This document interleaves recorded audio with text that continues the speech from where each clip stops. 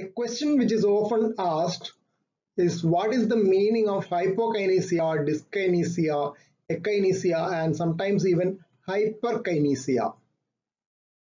These terms are used in connection with the heart muscle.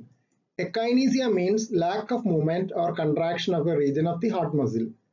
Dyskinesia means an abnormal movement. Instead of contracting in systole, that segment of the heart muscle bulges out in systole. Hypokinesia means reduced movement or contraction of a segment of the heart muscle. Hyperkinesia means increased contraction of a region of the heart muscle. Hyperkinesia can occur as a compensatory mechanism. Normal heart muscle does a little bit of extra work instead of the regions of the heart muscle which is defective with either akinesia, hypokinesia or dyskinesia. So hyperkinesia is not a disease by itself.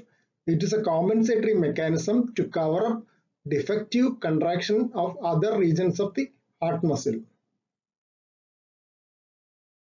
Hypokinesia, dyskinesia and akinesia are called regional wall motion abnormalities.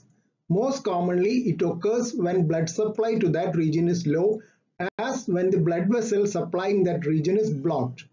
These terms are commonly used in echocardiography, that is ultrasound imaging of the heart. They can also be used any real-time imaging of the heart which can display the movements of the heart muscle segments like cine cardiac magnetic resonance imaging, cine computed tomographic imaging, and nuclear cardiology imaging.